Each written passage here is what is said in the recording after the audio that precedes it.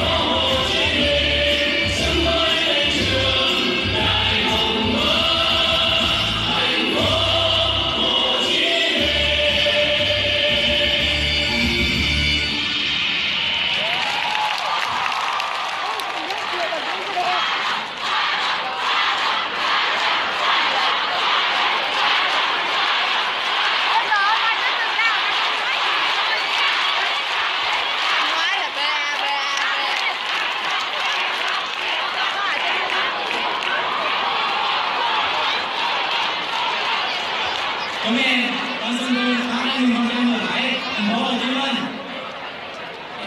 em xin sẽ cố gắng nỗ lực học tôn trọng các thầy cô tôn trọng các bạn của nhà trường xin hứa xin hứa xin hứa